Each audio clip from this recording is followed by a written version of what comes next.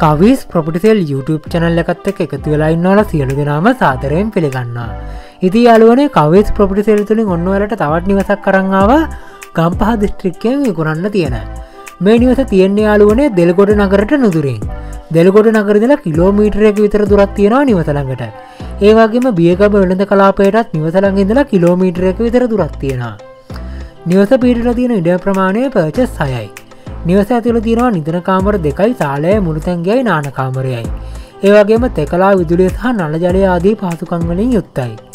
මේ නිවස වටිනාකම කියන්න යාලුවනේ රුපියල් ලක්ෂ පණහා.